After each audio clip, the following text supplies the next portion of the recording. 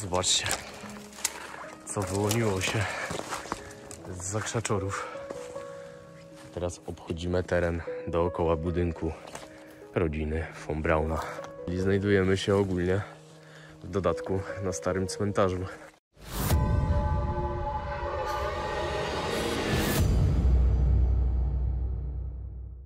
Historia Wernera von Brauna, naukowca, który był opętany swoimi wizjami tak, że nie przejmował się cierpieniem tysięcy ludzi.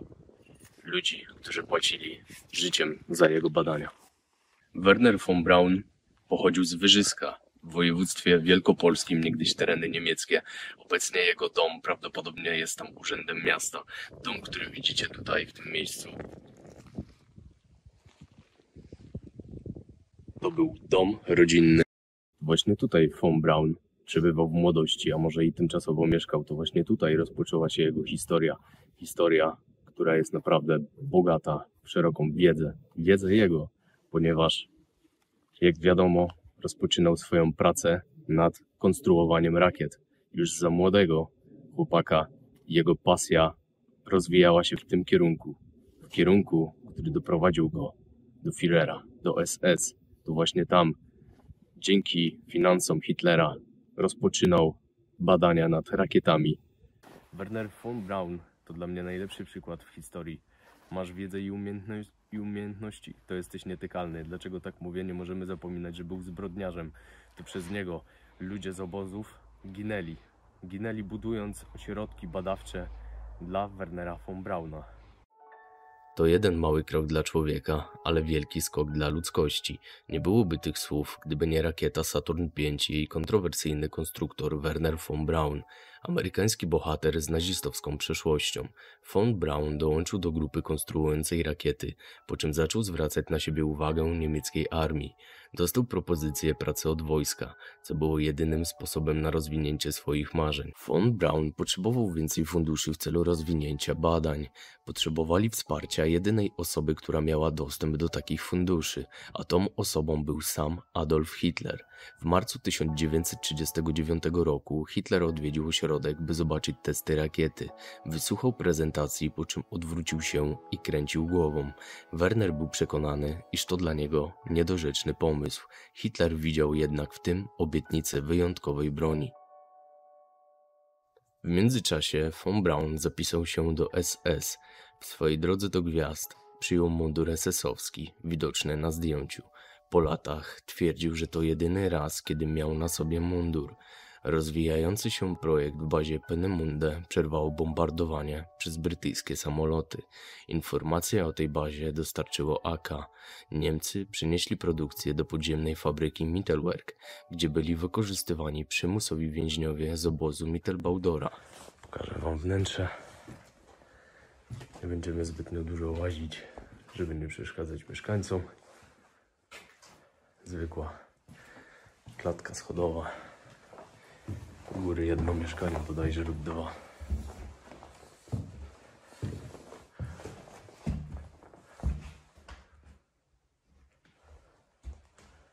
Tam jakiś stryszek i drugie mieszkanie. Tutaj najprawdopodobniej na parterze dziś również było wejście do piwnicy. Bodajże w tamtym miejscu.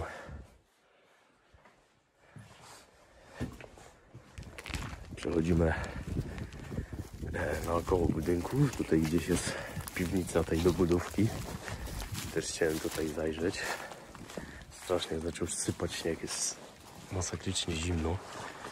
Odpalimy latarkę i zajrzymy na dół.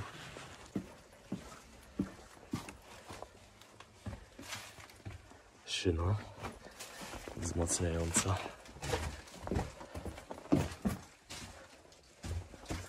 Tutaj już niestety zamknięte. Pewnie przejście do czynnej jeszcze piwnicy w budynku obok.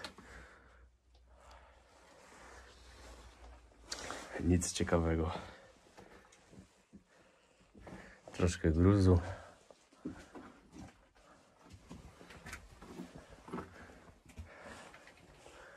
Bardzo stary budynek. Przyjdziemy zobaczyć naokoło. Udanej eksploracji domu rodzinnego Wernera von Brauna udaliśmy się jeszcze na odwiedzenie kilku miejsc w Bystrzycy. Zaraz zobaczycie, co udało nam się jeszcze odnaleźć. Będąc tutaj w okolicy, grzechem by było Wam nie pokazać i samemu nie zobaczyć drugiego, co do wieku, najstarszego e, drzewa w Polsce. Jest to cis tutaj w Bystrzycy, a wiek jest szacowany na jakieś 800 lat. Zaraz e, podjedziemy, tutaj jest taki park w lesie, w lasku i zobaczymy jak to wygląda. Jesteśmy. Strasznie zaczęło sypać znowu. Lodowa, zimno. Ale pięknie. Ma miejsce swój klimat. Wszystko pokryte bluszczem. Co? Groby? Aha, czyli znajdujemy się ogólnie w dodatku na starym cmentarzu. A tam mamy ruiny jakiegoś mauzoleum prawdopodobnie. Zaraz tam zajrzymy. Zobaczcie.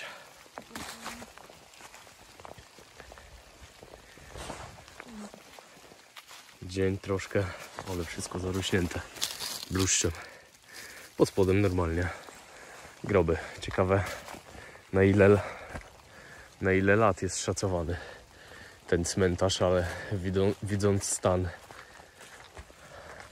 tego miejsca można wnioskować, że takie chyba minimum 300 a gdzie jest cis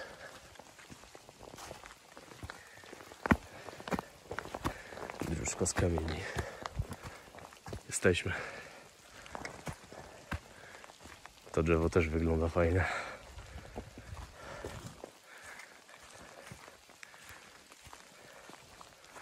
No i tak jak wspominałem, 800 lat.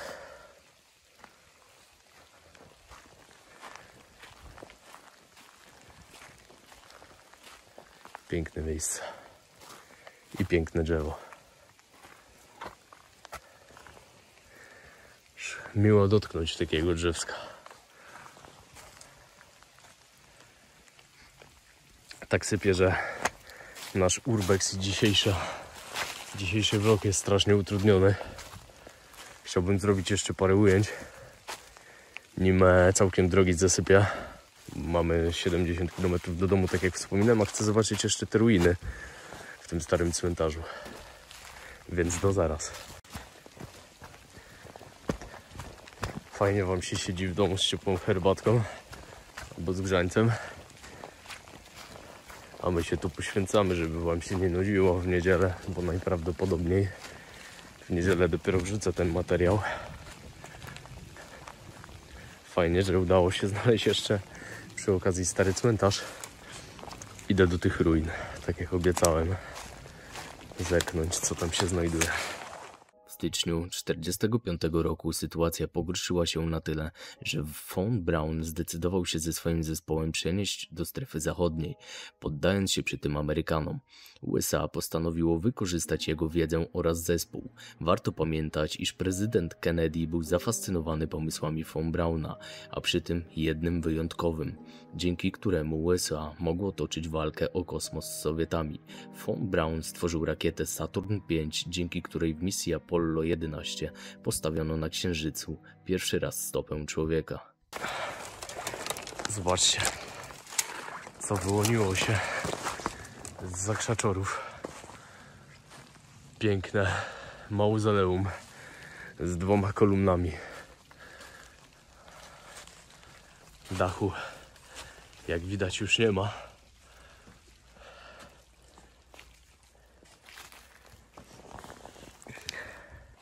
Środku niestety mnóstwo śmieci. Nie chcę tam zaglądać, bo nie jestem dzisiaj odpowiednio ubrany. Ale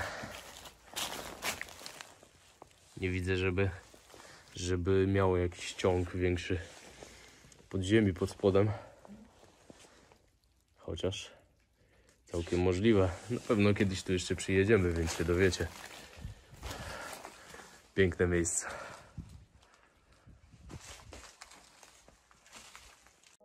Werner von Braun i jego kariera od nazisty do NASA. Więcej ludzi zginęło podczas budowania dla niego fabryk, niż zginęło od samych rakiet. USA zatuszowało jego zbrodnie przez wybitny umysł.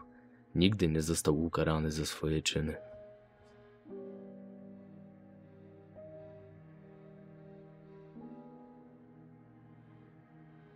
Niestety padł nam mikrofon. Mam nadzieję, że mnie słyszycie. To wszystko w dzisiejszym odcinku. Znaleźliśmy miejsce przypadkowo, jest bardzo piękne. Przyroda też fajnie może pięknie ozdobić takie miejsca. Jeśli podobał Ci się materiał, pamiętaj o subskrybowaniu i lajkowaniu naszego kanału i czekaj na rozpogodzenie, bo będą dalsze materiały z eksploracji. Pozdrawiamy Dark Travelsi.